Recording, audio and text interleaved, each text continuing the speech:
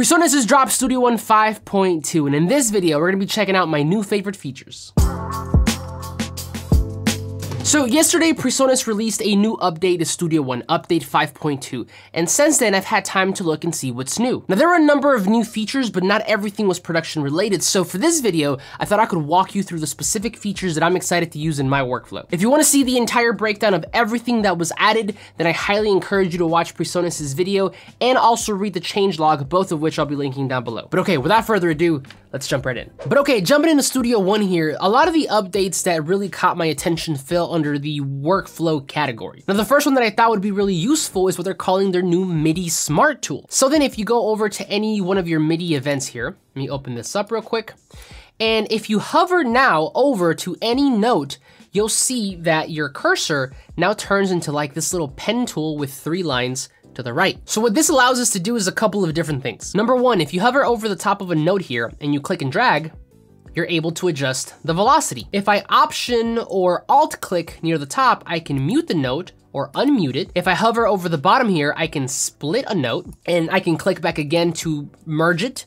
And then if I option or alt click near the bottom, I can not only split the note, but it also splits the MIDI container that that note is in. Now this is really useful because oftentimes as you're editing your MIDI, you have to switch between different tools by pressing different things on either on your keyboard or on Studio One to do basic tasks. And now you don't have to do that, at least for, you know, velocity and muting and stuff like that. So overall, I think this makes the, the workflow a little bit faster when editing MIDI. I no longer have to press the number two to switch over to the blade or what have you. I just have to go over to the bottom and make my splits. I don't have to do all these extra crazy things just to get basic things done, and that is amazing. But okay, moving on to my next favorite feature, Studio One now has improved BPM detection. Now, as producers, as beat makers, I know you understand my struggle. Sometimes we're dealing with loops that don't necessarily have a BPM information or data, and that can be really hard, especially if you're starting out and you don't know how to detect the tempo. Well, in this new update, Studio One has a couple of different ways to let you set the BPM in case the original file didn't have it. So to show you,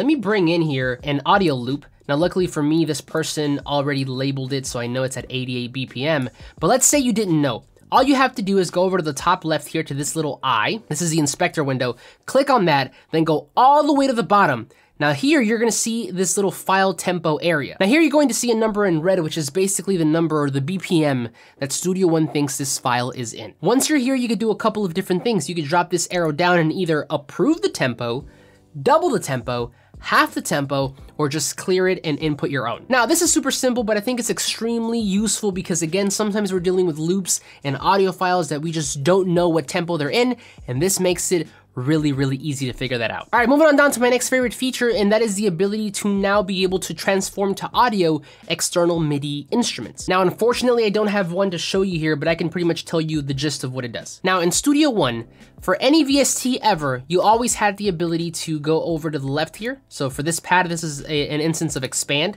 I can right click on this track, I can go down to the bottom, and I can transform it to audio. What this is basically doing is transforming all the MIDI information into an audio clip.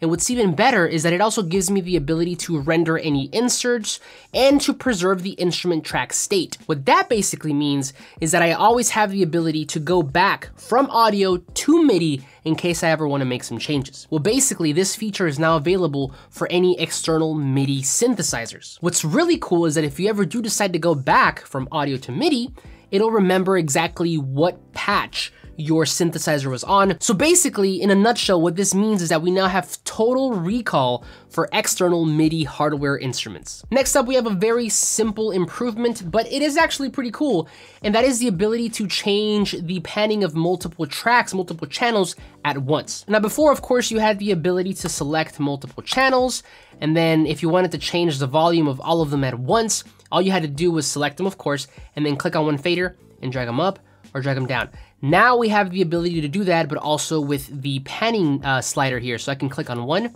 and slide left or slide right. Now this feature for me is going to be useful in cases where I may be working with like background vocals or just things that I know I want to be panned hard left and hard right. Instead of doing one by one, I can select them all and do it all with one move. All right, and last but not least, we have a new crash diagnostics tool. Now, I know this doesn't sound like much fun at first, But hear me out. Now, sometimes when we're working, Studio One will crash, and the most frustrating part is not knowing what caused it to begin with. Before, you kind of had to throw darts in the dark to guess what it was, but now with this new diagnostics tool, in some cases, it'll tell you exactly what plugin caused the crash, and then from that page, you could even disable certain plugin types like VST2s, VST3s, that one that Logic uses, I can't remember the name of it, and then you could even send that report over directly to the IT support so they can help you out. That is going to be really, really handy. But there you have it, those are my favorite features off the 5.2 update. Now there were two honorable mentions. Number one, we have a larger buffer now for the retrospective record,